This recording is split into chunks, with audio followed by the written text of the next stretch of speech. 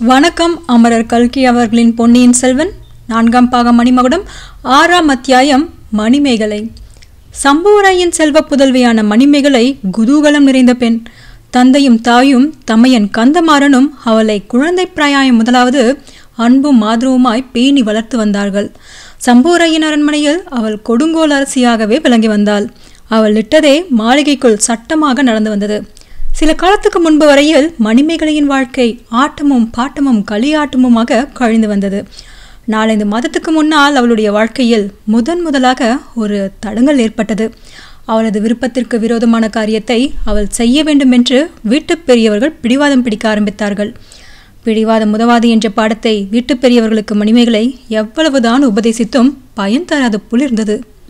இரண்டு மூன்று வருஷமாக கந்தமாறன் போர்க்களங்களிலிருந்து திரும்பி வீட்டுக்கு வரும்போதெல்லாம் அவனுடைய சிநேகிதன் வல்லவரையனை பற்றி அவளிடம் கூறுவான். அவனுடைய வீர தீர சாமர்த்தியங்களை பற்றியும் புத்தி சாதுர்த்தியை பற்றியும் வானலாவ புகழ்வான். அழகில் மன்மதன் என்றும் வீரத்தில் அர்ஜுனன் என்றும் யுக்தியில் கிருஷ்ண பகவான் என்றும் வியந்து வர்ணிப்பான். அவன் தான் உனக்கு சரியான கணவன். துஷ்டத்தனத்தை அடக்கி உன்னை கட்டுக்குள் வைத்திருக்கக்கூடியவன் என்பான். இதையெல்லாம் அடிக்கடி கேட்க வேண்டும் என்று மணிமேகலைக்கு ஆசையா இருக்கும் அதே சமயத்தில் வெளிப்படையாக கந்தமாறன் மீது அவள் எரிந்து விழுவாள். அவனுடன் சண்டை பிடிப்பாள். இப்படி வெறுமனே சொல்லிக் கொண்டிருக்கிறாயே ஒரு நாள் அழைத்து கொண்டுதான் வாயேன். அவன் சாமர்த்தியத்தை பார்த்து விடுகிறேன் என்பாள். ஆகட்டும் ஆகட்டும் என்று கந்தமாறன் கருவி கொண்டிருப்பான். மணிமேகலையும் ஒருவாறு வல்லவரையின் வந்தியத்தேவனை கற்பனை கண்ணால் கண்டு மானசீக உலகில் அவனோடு பேசி பழகி சிரித்து விளையாடி சண்டை போட்டு சமாதானம் செய்து இப்படியெல்லாம் பகற்கனவு காண்பதில் காலம் போக்கி வந்தாள். அவளுடைய அந்தரங்க தோழிகளிடம் சில சமயம் தன் தமையனுடைய சிநேகிதனான வானர்குல வீரனை பற்றி பேசி மகிழ்ந்தும் வந்தாள். இத்தகைய இனிய பகற்கனவுகளுக்கு நான்கு மாதங்களுக்கு முன்னால் எதிர்பாராத ஓர் இடையூறு நேர்ந்தது. கந்தமாறன் வேறு ஸ்வரத்தில் பேச ஆரம்பித்தான். வீடு வாசல் பதவி அந்தஸ்து அற்ற அந்த அனாதை பையனை மறந்துவிடு என்று கூறலானான். தஞ்சாவூர் சிம்மாசனத்தில் அவளை ஏற்றி வைக்க தீர்மானித்திருப்பதாக ஆசை காட்டினான். பின்னர் ஒரு நாள் தெளிவாகவே விஷயத்தை சொல்லிவிட்டான். ஏற்கனவே சின்ன பழுவேட்டரையன் மகளை மணந்தவரான மதுராந்தகனுக்கு இவளையும் மனம் புரிந்து கொடுக்கப் போவதாக கூறினான். மதுராந்தகன் தான் அடுத்த சக்கரவர்த்தியாக போகிறான் என்று ஜாடை மாடையாக சொன்னான். மதுராந்தகனை மணந்தால் மூன்று உலகங்களுக்கும் மணிமேகலை சக்கரவர்த்தினியாக விளங்குவாள் என்றும் அவள் வயிற்றில் பிறக்கும் பிள்ளையும் ஒருவேளை சாம்ராஜ்யம் ஆளும் பேறு பெறுவான் என்றும் கூறினான். இதற்கெல்லாம் அவளுடைய பெற்றோர்களும் ஒத்துப்பாடினார்கள். ஆனால் மணிமேகலைக்கு இந்த பேச்சு ஒன்றும் பிடிக்கவில்லை. வந்தியத்தேவனை பற்றி கேட்டு கேட்டு அவள் மனம் அவனிடம் ஈடுபட்டிருந்தது. அது மட்டுமல்ல மதுராந்தகன் வீரமற்றவன் என்றும் போர்க்களத்தையே பார்த்தறியாதவன் என்றும் நேற்று வரை உடம்பெல்லாம் உபதி பூசி ருத்ராட்சம் அணிந்து சாமியாராகப் போவதாக சொல்லி வந்தவன் என்றும் அறிந்திருந்தாள். போதாதற்கு ஏற்கனவே அவனுக்கு ஒரு கல்யாணம் ஆகியிருந்தது. தஞ்சாவூர் அரண்மனை பெண்களோ மிகவும் கர்வக்காரிகள். தங்களுக்கு தான் நாகரிகம் தெரியும் என்று எண்ணி மற்ற ஊர்க்காரர்களை அலட்சியம் செய்கிறவர்கள். இதையெல்லாம் எண்ணி மணிமேகலை மிக்க எரிச்சல் கொண்டாள். தஞ்சாவூர் சிம்மாசனம் கிடைப்பதாயிருந்தாலும் சரி தேவலோகத்து தேவேந்திரனுடைய சிம்மாசனமே கிடைப்பதாயிருந்தாலும் சரி மதுராந்தகனை மணந்து கொள்ள முடியாது என்று அடம் பிடித்தாள். அப்புறம் இன்னொரு செய்தி தெரிய வந்தபோது அவளுடைய மன உறுதி வலுவடைந்தது. பெரிய பழுவேட்டையர் கடம்பூருக்கு வந்திருந்த போது பின்னோடு இளையராணி நந்தினியும் வந்திருப்பதாக சொன்னார்கள். ஆனால் அவள் அந்த புறத்துக்குள்ளே வரவே இல்லை. கடம்பூர் அரண்மனை பெண்களை பார்க்கவும் இல்லை. இது முதலில் வியப்பை அளித்தது. அரண்மனை பெண்டர் அதை பற்றி பரிகாசமாகவும் நிந்தனையாகவும் பேசிக்கொண்டார்கள். பிறகு கொஞ்சம் கொஞ்சமாக உண்மை தெரிந்தது. மூடு பல்லக்கில் இளையராணி வரவில்லை என்றும் மதுராந்தகன் வந்திருந்தான் என்றும் அறிந்தபோது மணிமேகலையின் அருவறுப்பு அதிகமாயிற்று. சி இப்படி பயந்து கொண்டு மூடு பல்லக்கில் பெண் வேஷம் தெரித்து கொண்டு வருகிறவனையா? நான் மணாளனாக வரிப்பேன். ஒரு நாளும் இல்லை என்று மணிமேகலை உறுதியடைந்தாள். மதுராந்தகன் மூடு பல்லக்கில் அரண்மனைக்கு வந்திருந்த அதே சமயம் கந்தமாறனின் சிநேகிதன் வந்தியத்தேவனும் வந்திருந்தான். அவன் அந்தப்புறத்திற்கு வந்து சற்று நேரம்தான் இருந்தான். எங்கிருந்தோ அப்போது மணிமேகலைக்கே அளவில்லாத நாணம் வந்து பற்றி கொண்டது. மற்ற பெண்களின் பின்னாலேயே நின்றாள். வந்தியத்தேவனின் நேருக்கு நேர் முகத்துக்கு முகம் நன்றாக பார்க்க கூட இல்லை. ஆயினும் மற்றவர்களுக்கு பின்னால் அரைக்குறையாக பார்த்த அவனுடைய கலை பொருந்திய புன்னகை ததும்பிய முகம் அவள் உள்ளத்தில் பதிந்துவிட்டது. அவனுடைய குரலும் அவன் பேசிய சில வார்த்தைகளும் அவளுடைய ஞாபகத்தில் நிலைத்துவிட்டன. ஆகையால் மறுபடியும் தமையன் கந்தமாறனுடன் மணிமேகலை முடிவில்லா விவாதம் தொடங்கினாள். முக்கண் படைத்த சிவபெருமானே வந்து சொன்னாலும் தான் மதுராந்தகனை ஒரு காலும் மணக்க முடியாது என்றாள். வந்தியத்தேவனை சிறிது நேரமே பார்த்த போதிலும் அவனிடம் தன் அந்தரங்கம் சென்று விட்டதையும் அவள் குறிப்பாக உணர்த்தினாள். கந்தமாறனுக்கு இது அளவில்லாத கோபத்தை உண்டாக்கியது. முதலில் நல்ல வார்த்தையாக சொல்லி பார்த்தான். பயன்படவில்லை. பின்னர் வந்தியத்தேவன் என் சிநேகிதன் அல்ல என் பரம விரோதி.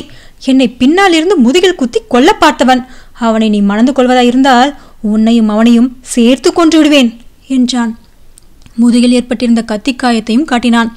பழுவூர் இளையராணியின் பரிவான சிகிச்சையினால் உயிர் பிழைத்து எழுந்ததையும் கூறினான்.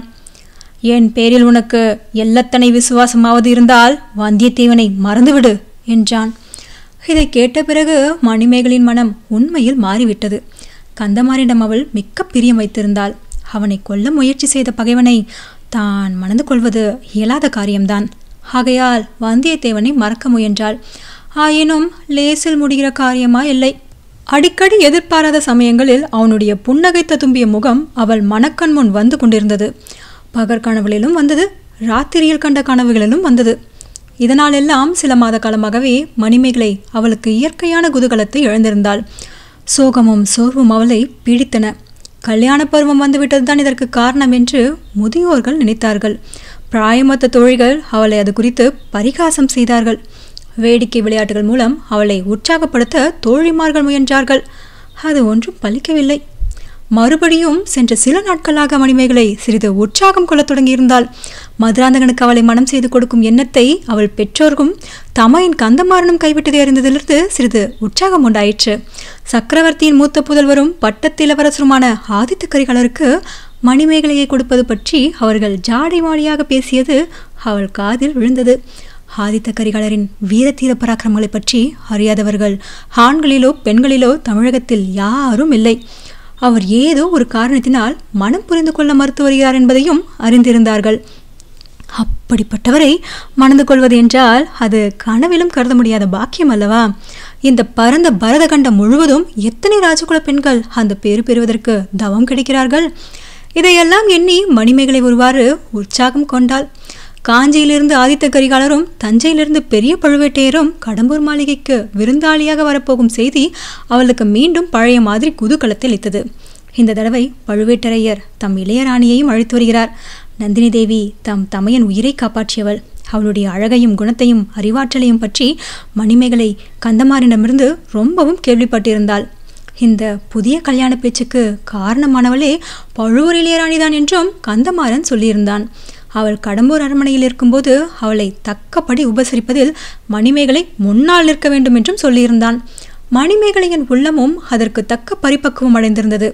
பழுவூர் ராணியிடம் நல்லபடியாக சிநேகிதம் செய்து கொண்டு அவளுடைய பழக்கத்தினால் தஞ்சாவூர் அரண்மனை பெண்களை நாகரிகத்தில் தோற்கடிக்கக்கூடியவளாக தான் ஆகிவிட வேண்டும் என்று ஆசைப்பட்டாள்.